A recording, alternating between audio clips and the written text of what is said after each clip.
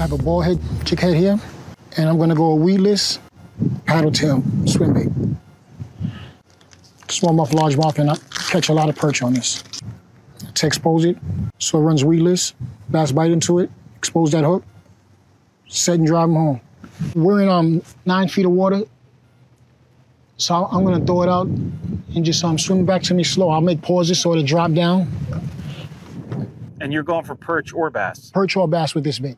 There's smallmouth usually in this area, Whoa, right off the bat. another perch. The first cast. You called it, man.